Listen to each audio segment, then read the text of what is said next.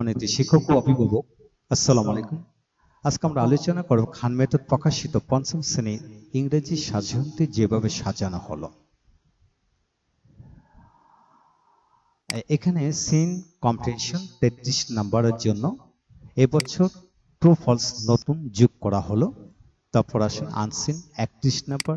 এখানে ছয় নম্বরের ক্ষেত্রে ট্রু ফলস নতুন যোগ করা হলো। আর বাকি নয় দশ এগারো বারো সব কিছু আগের মধ্যে থাকবে। অর্থাৎ ট্রু ফলস ছয় ছয় বারো নাম্বার যোগ করা হলো নতুন দুইটা কম্পিটিশনের ক্ষেত্রে, যেমন দুই এবং ছয় নাম্বারের ক্ষেত্রে।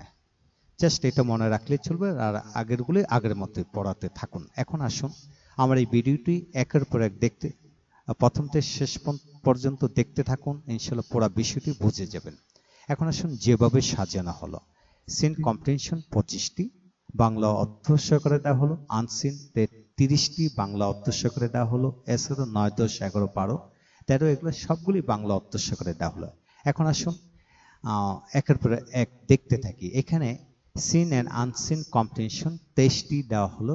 এদের মধ্যে আর দশটি কম্প্রিহেনশন পূর্ণাঙ্গ মডেল আলোকে দেওয়া হলো।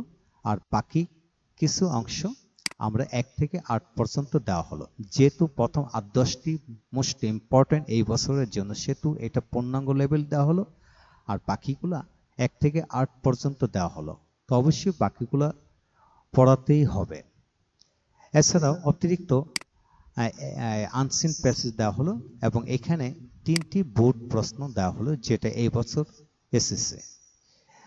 এখন আসুন, যেভাবে আপনার সন্তানকে পড়াবেন। যেমন পঞ্চম শ্রেণির ইংরেজি বইটি সম্পূর্ণভাবে শেষ করতে কি কি জানতে হবে? এই বিষয়টি আপনার সন্তানকে প্রথম জানিয়ে রাখুন।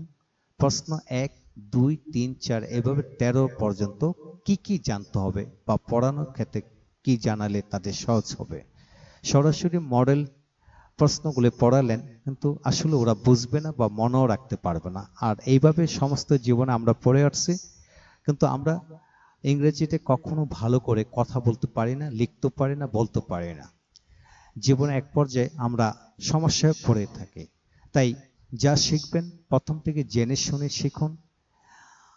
তাই প্রথম থেকে শেষ পর্যন্ত এই বিষয়টি ভালো করে জানিয়ে দেন। এছাড়াও এখানে আরেকটি অপশন লিখলাম, এক থেকে তেরো নং নিয়ে একসাথে আলোচনা করব। আলোচনা হচ্ছে who what which when where why how এদের ব্যবহার কেন এত গুরুত্বপূর্ণ? তো এখানে গুরুত্বপূর্ণ বিষয়টা এখানে দেওয়া হলো, আপনারা ভিডিওটি স্টপ করে পড়ে নিতে পারেন। এছাড়া যাদের বই দরকার, বইটি আপনারা সংগ্রহ করুন। এবং পূর্ণাঙ্গ বিষয়টি পূর্ণাঙ্গ ইনফরমেশনগুলো আপনারা জেনে নিতে পারবেন। How to read comprehension comprehension কীভাবে পড়াবেন? এই বিষয়টি এখানে খুব চমৎকার করে দেওয়া হলো। তারপর হলো how to give answers of the questions প্রশ্নগুলি উত্তর কীভাবে দিবেন? যেমন হো দিয়ে ছয় ধরনের গঠনে ইন্টিগ্রেটিভ সেন্টেন্স পাওয়া যায় আমাদের বইগুলোতে। এখন ছয় ধরনের গঠন, এর আলোকে প্রশ্ন এবং উত্তর কীভাবে হবে এখানে দেখানো হলো। এছাড়া হোয়াট সতেরো ধরনের ইন্টিগ্রেটিভ সেন্টেন্স পাওয়া যায়। এখানে বেশ অনেকগুলি ব্যবহার দেখানো হলো। যেহেতু পঞ্চম শ্রেণির ছেলে মেয়ে, তাদের জন্য সংক্ষিপ্তভাবে এখানে দেখানো হলো। তারপর আসুন হুইচ উনিশ ধরনের গঠনে ইন্টিগ্রেটিভ সেন্টেন্স পাওয়া যায়। এখানে বেশ কয়েকটি গঠনের সেন্টেন্স দেওয়া হলো এবং উত্তর কীভাবে দেখানো হলো। তারপর আসুন হোয়েন সাত ধরনের গঠনে বাক্য পাওয়া যায়। এদের প্রশ্ন এবং উত্তর দা- দেখানো হলো। তারপর হোয়ার পাঁচ ধরনের গঠনে বাক্য পাওয়া যায়। তারপর হাও পনেরো ধরনের গঠনে বাক্য পাওয়া যায় এবং এদের উত্তরগুলো কীভাবে হবে সংক্ষিপ্তভাবে দেওয়া হলো। মূলত বইটি স্পোকেন ডিজাইনে দেওয়া হলো, এগুলা রিডিং পড়ালে আপনার সন্তান পেরে যাবে। এখন আসুন কম্প্রিহেনশন যেভাবে সাজানো হলো দ্যাট মিনস তিরিশটি মডেল দেওয়া হলো। এগুলো প্রত্যেকটা ক্ষেত্রে বাংলা মিনিং এইভাবে দেওয়া হলো এবং বিভিন্ন ভিতরে বাংলা মিনিংগুলো দেওয়া হলো যাতে আপনার সন্তান অতি সহজে পেরে যায়। তো এইভাবে এখানে এক থেকে তিরিশটি মডেল দেওয়া হলো। তিরিশটি পরে এখানে উত্তরগুলো সবশেষে খুব চমৎকার করে সাজিয়ে গুছিয়ে দেওয়া হলো। ইনশাল্লাহ আপনার এগুলো পড়ালে অবশ্যই আপনার সন্তান ভালো রেজাল্ট করবে। এখন আসুন গ্রামার পার্ট যা জানতেই হবে। গ্রামার শেখানোর আগে আপনার সন্তানকে অবশ্যই কাইন্ডস অফ সেন্টেন্স পড়াতেই হবে এবং কাইন্ডস অফ সেন্টেন্সের পরে আপনার সন্তানকে সাবজেক্ট ভার অবজেক্ট কি এবং কীভাবে হয় এখানে সংক্ষিপ্তভাবে দেখানো হলো। জাস্ট আপনার সন্তানকে এগুলি রিডিং পড়াতে থাকেন, মনে অজান্তে ওরা বুঝে যাবে। তারপর আসুন কেস ভেরি ইম্পর্টেন্ট একটা part English of English language এটা আপনারা অবশ্যই পড়াতেই হবে। তারপর টেন্স ইটস ভেরি ইম্পর্টেন্ট তিন প্রকার, তারপর হলো চার প্রকার করে বারো প্রকার। প্রত্যেকটা বিষয় খুব সংক্ষিপ্তভাবে ভেঙে ভেঙে লিখে দিয়েছি। এইগুলা পড়ালে ইনশাল্লাহ টেন্স আপনার সন্তান পেরে যাবে। তারপর আসুন, কীভাবে নেগেটিভ সেন্টেন্স করবেন? এখানে চমৎকার করে দেখানো হলো।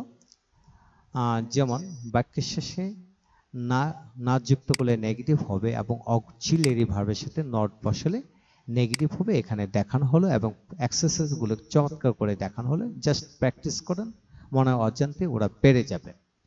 তারপর ভার্বে অক্সিল ভার্ব প্লাস নট এর সংক্ষেপ ফর্ম দেখানো হলো। এটা জানতেই হবে। আর তারপর কীভাবে ইন্টিগ্রেটিভ সেন্টেন্স করবেন, এখানে দেখানো হলো চমৎকার করে। আর তারপর আসুন অক্সিলারি ভার ব্যবহার আপনার সন্তানকে ভালো করে পড়াতে হবে।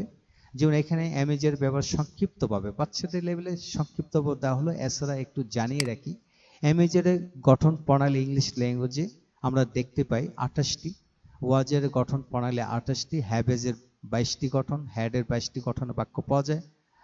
তারপর শেলউইল নয়টি, সুরের বিশটি, এইভাবে গঠনের বাক্য পাওয়া যায়। তবে এখানে সংক্ষিপ্তভাবে দেওয়া হলো, যাদের বেশি জানানোর দরকার। তারা এক complete book of written spoken English grammar বইটি আপনারা সংগ্রহ করে নিতে পারেন। এখন আসুন।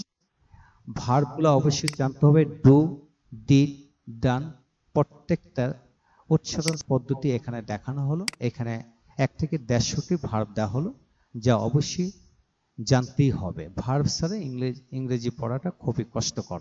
এখন আসুন ভেরি ইম্পর্টেন্ট কোর্সেন ডাবলিস কোর্সেন। যেমন নয় নাম্বার, কীভাবে পড়াবেন? এখানে who what which when where why how day কীভাবে প্রশ্ন করবেন?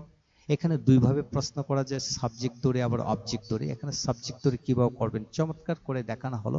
আপনারা ভিডিওটি স্টপ করে দেখতে পারেন। এছাড়া এই ভিডিওগুলি এই চ্যানেলে দেওয়া হয়েছে।